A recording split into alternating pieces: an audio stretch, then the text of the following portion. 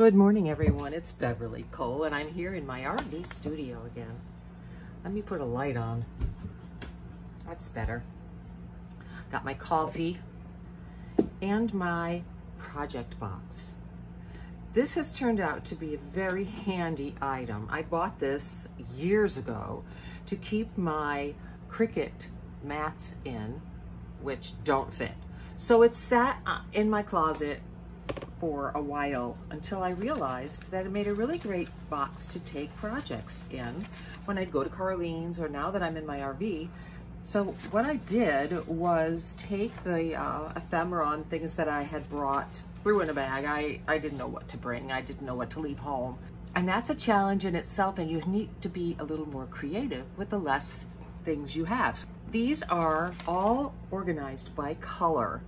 Um, color is apparently something that is important to me in my collages as I automatically just organized things by color. So this is all vintage color and these are images from Gecko Galz and I have a variety of papers over here that I haven't put in there, vintage papers. I keep them in a box on the side here, things that I've dyed or, or haven't. So that is the vintage color, but I also have underneath my mat, if I can just move my coffee for a moment, let's put it on the counter over here. Ooh. Underneath this mat, that's my substrate. I have all of this. So this also is uh, vintage colors. So let's look at the next color family. This one, purples and pinks. So I have some of my jelly plate papers, some of my ephemera that I printed off from my kits. Then underneath that one, I have my yellow layer, which some of the papers, oops, that goes over there. Some of the papers in this could also be used with the, with the other kit, depending on how I feel when it comes time to do that. And then underneath here, I have extra things. When you're organizing, it means you need to make choices. So I'm choosing to move on with my vintage because I love vintage. You know I love vintage. And we will make a focal point using cardboard. Like I said, the first thing I usually do is rip it into a shape. I did hearts mostly, but these days I'm kind of liking the rectangular, but I don't throw any of that away. It's all saved in my little boxer. Okay, I think that's good. Let's use that. So I have a variety of paper, start with some background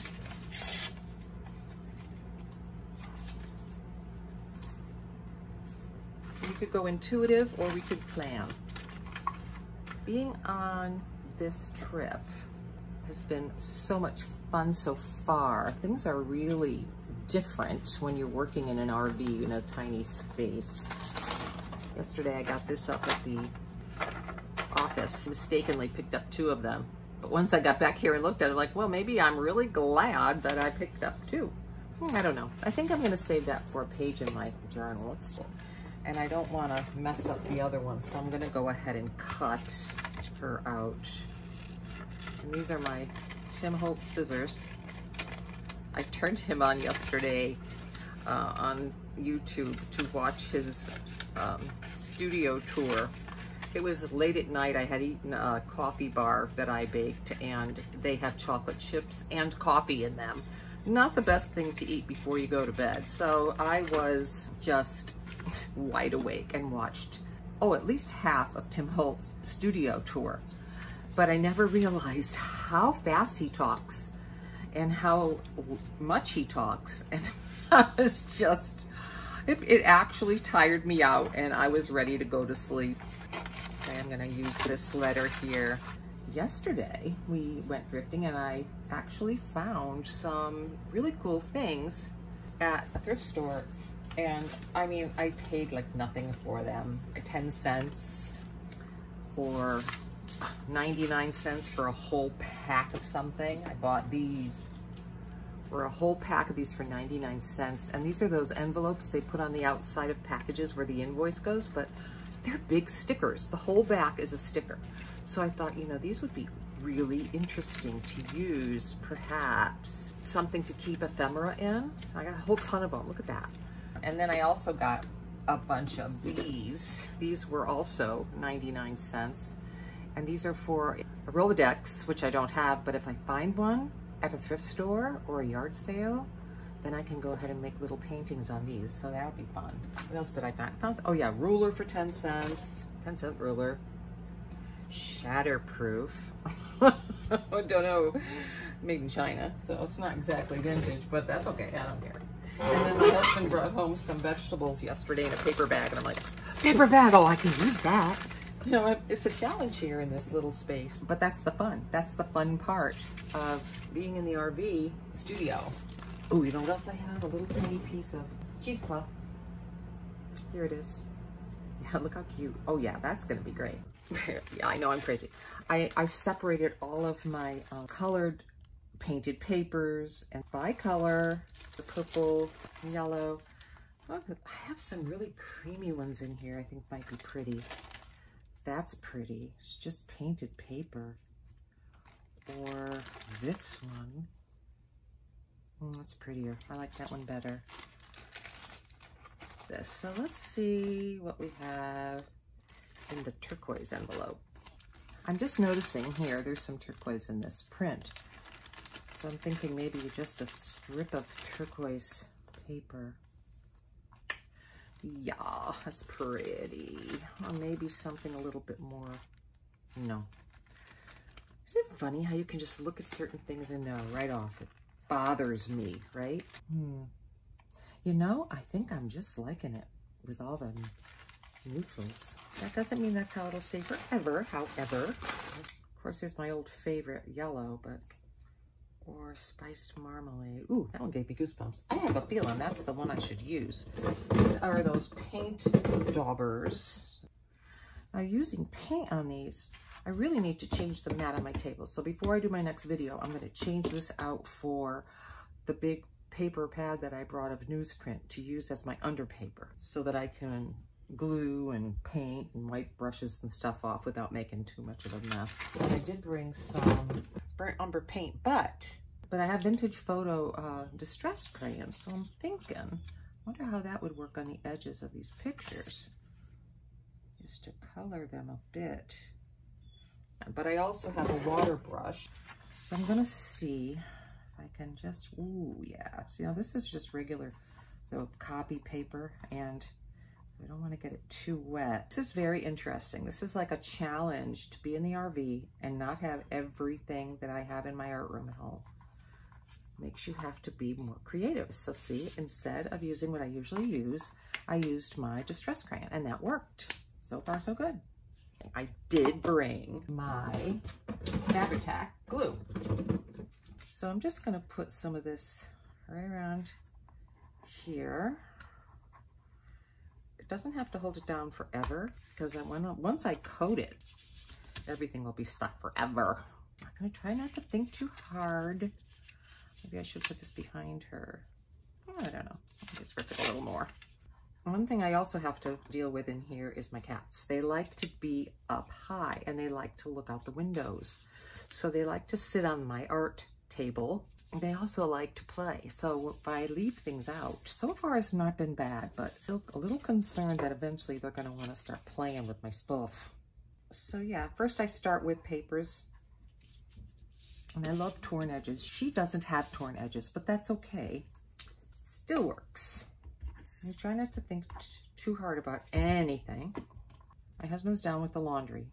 It is the weekend now, and so that's probably, I thought it would be busier at the laundromat, but apparently when a lot of people come for the weekend, they don't have any laundry yet. We've been here a week, so we have laundry. So this will go here. And the thing with this stuff is it behaves better once it's wet. Let's do some color. You know me and green. I just love green lately. I'm going to use some green. Although the top of this one is worn thin. These are my old ones. How about we try the Rusty Hinge first because this is new, a new one. Well, this is the reason. You can see where I am. I'm in my RV I'm using things that keep everything neat. Got my water brush, so I don't need a glass of water. And also, in the RV, you don't want to be putting any kind of paint or glue down the drain. So everything that I use, after I wipe all the paint off, all my brushes and everything, I take them out in a bucket and I wash them outside. Whoa, see that? Wow, love that. Love that. Mm -hmm. Yeah, that's pretty. Paint right there. Now this is acrylic, so it will dry permanently. And since I don't want to make a giant mess, I need a scrap paper. I'm going to just wipe the rest of this paint off on there. Don't want to leave acrylic paint on your water brush, for sure, for sure. Because it will get it all hard and ruined. So I just squeeze out till it's pure water. And then I'm done with that. And I've made another piece of ephemera or fodder. Now I need to add some other elements. So we will look for more cardboard. Ooh, yeah, I think that will work. Something else three-dimensional to add to add texture. Add that. So odd that I'm using this glue. Don't usually use it for this kind of stuff, but it's working. It's working and it's sticking. Okay, so what's our little story here? She's missing her lover. She's writing letters and thinking. Mm hmm You know I have some of my torn. you know what I have. You know I have these. And there's some green. Ooh. As funny as it is, I think I like that one the best right there. So that's where it's going. I just love it. I love it. Love, love, love it. It's a little top heavy. Well, this is got a lot of layers and it's thick, but that's okay. I still do have tiny pieces. And when you're making something tiny, tiny pieces can work. Oh, sugar. How did that happen? Okay, well, I just noticed that for a lot of this video, I had my camera over on the side. Somehow it got twisted over there. I'm not sure how much of it, but I'm so sorry. Um, I've been building her and adding cheesecloth and different elements. I'm so sorry you missed that. Oh my gosh. But um, we're going to continue with this. After I check and see how much of this you've missed. oh my goodness, how silly is that? So I'm outside. And George has already just started cleaning up, picked up our mat, rinsed it off. And he is doing laundry while I do this. And I decided I'm going to look for some sticks for my piece. And see if I can find something interesting to add. Hmm, these are kind of interesting. These little sticks right here, kind of just broken off. Hmm, that's kind of interesting. Has some kind of fungus growing on it. These leaves are so interesting. Look at these leaves, how curly they are. Really pretty. Okay, okay, back to the subject at hand. We want a stick. I'm gonna take this one too and then take them in and see what we can do with them. Oh darn, I hold my camera the wrong way. Oh well. I have tightened my camera so it will not move again. I noticed you didn't miss too much, which is good. This is the piece of the branch that I decided to use. So once again, oh my goodness, that drawer is so squeaky. Oh no, I put my glue over there to make it nice and easy to use. And I'm gonna use, again, some of the beacon just to kind of uh, secure my branch. When I go over that, I'll probably use Elmer's glue. I use Elmer's glue a lot. It dries with a kind of a sheen, but it will also hold everything in place.